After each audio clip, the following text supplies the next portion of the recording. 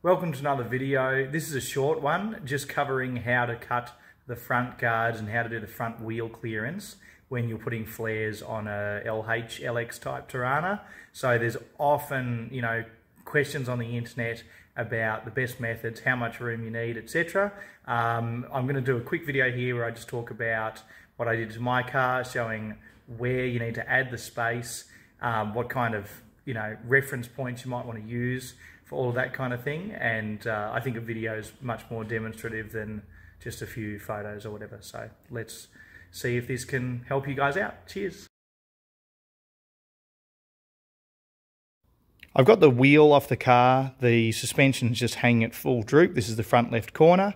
And we're going to talk a little bit about the modifications to the guard of the car, the bodywork around the footwell of the car, and also the flare itself. So the flare is an aftermarket fiberglass one. The main thing that I've done to modify the flare is I've cut out, you know, a bit of the thickness at that front section. It was a little bit, it was a little, little bit fat. I've kind of distorted it a little bit in a way to keep that out, just the way that I've bolted it on. I've tried to keep it, um, you know, further from the car. Another thing that you could do is you could actually make like a turnbuckle, turnbuckle bracket off the bumper bar iron to there to push that out further if that is what you need. In my case, I didn't need that, but really badly like, you know, reshaped flares that aren't in very good, I guess, mold condition or whatever, like they came off shitty molds, they might have more problems like that. I was reasonably lucky maybe with my ones. Um, the biggest change I probably did is this shape here. It was far more like directly across the car. When I put the when I put the car um, when I put the flares on the car, it's really difficult to see in photos and stuff. But basically, that edge was very much across the car. I took a wedge, like a triangle shape, out of the bottom, and um, I just bent it in and refiberglassed it so it tucks in a lot harder, and that allows the wheel to really swing through there as it steers. Now, the same problem exists even more severely with the bodywork of the car. It's got a, um, it's got a pinch weld kind of seam originally that's very vertical there. So it goes up and down there. That is totally in the way of decent, wide, aggressive offset wheels with tyres on them. So there are photos of, you know, people with the Group C uh, race cars back in the day, like Bathurst cars, when the cars were brand new, belting the shit out of that area with um, with sledgehammers. You will need to do more than that, in my opinion, if you want to have decent fitment on a flared Torana. So I just cut that whole area out. That seam kind of thing there, that lip, I just basically cut all of it off. There's like a tiny bit left of it at the top. Um, this kind of diamond shape I just made myself. I'll put some photos in that demonstrate, I guess, how far I cut it back and things like that. But that's basically in line with that funny box section thing. So it's got like that box section bit of the chassis there.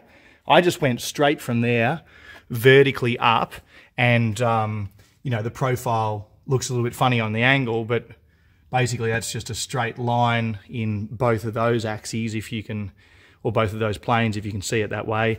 I just welded it on, put another weld where the, the floor on the inside of the car, where that floor meets the new piece. I just put a MIG weld there, and um, that there works really well. Originally, they do have a recess here for the wiring to pass through. So that allows the wiring from the dash to go down to the sill area. That's only used on the driver's side of the car. So I got rid of it on the left. That's just flat. I'll once again add a photo in there that shows me removing that. And on the driver's side, I couldn't remove it because you still have wiring on the driver's side. I just moved it back a little bit so that I could get more real estate there.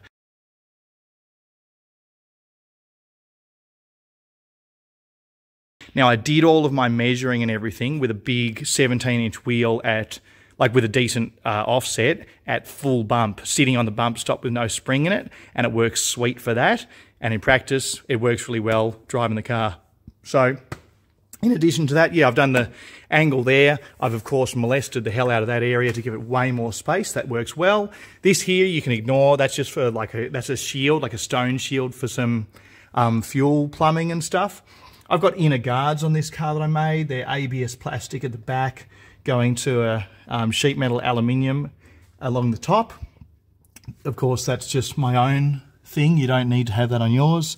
And the guard cut, it's pretty intuitive. Basically, you just look anywhere where the wheel might get close and you cut the guard up right near where the flare bolts are. There is absolutely no need, there's no reason when you're doing this stuff to like leave the guard on so it's hanging down to there or anything like that. There's just no sense in it. Cut it the whole way up. It doesn't do anything advantageous leaving it there.